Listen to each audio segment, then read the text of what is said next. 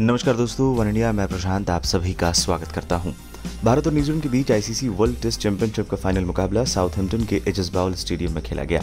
इस ऐतिहासिक test match में बारिश और बैड लाइट ने काफ़ी परेशान किया, लेकिन आखिरकार मैच के छठे दिन न्यूजीलैंड ने पासा पलटते हुए टीम इंडिया को आठ विकेट से हराकर वर्ल्ड टेस्ट चैंपियनशिप का खिताब अपने नाम कर लिया।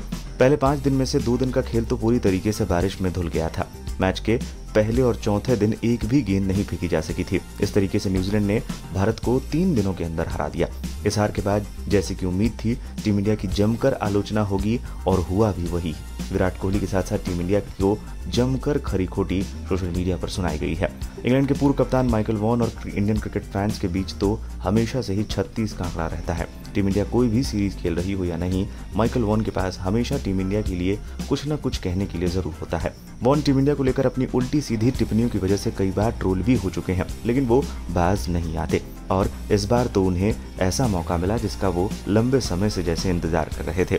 आईसीसी वर्ल्ड टेस्ट चैंपियनशिप के फाइनल मैच से पहले वॉन ने प्रोडिक्शन किया था कि न्यूजीलैंड खिताब जीतेगा, लेकिन तब भारतीय क्रिकेट फैंस ने उनकी क्लास लगा दी थी। वर्ल्ड टेस्ट चैंपियनशिप फाइनल में हार के बाद वॉन ने अपने ट्वीट के ज़रिए फाइनल हारने के बाद गमजदा फैंस के जख्मों पर नमक छिड़क दिया है। वॉन ने ट्विटर पर लिखा, मुझे लगता है, मुझे हज़ारों इंडियन क्रिकेट फ़ैन से माफ़ी मांगनी पड़ेगी। मैंने प्रिडिक्ट किया था कि न्यूजीलैंड वर्ल्ड चैंपियनशिप खिताब जीतेगा।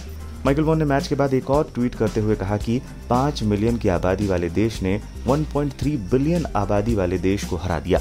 भारी भरकम पैसा और साधन से कुछ नहीं होता, इसका इस्तेमाल करना आना चाहिए। वेल डन न्यूजीलैंड बता दें, भारत की दूसरी पारी महज 170 रनों पर आउट हो गई थी और न्यूजीलैंड के सामने तिरपन ओवरों में एक रन बनाने का टारगेट आया था।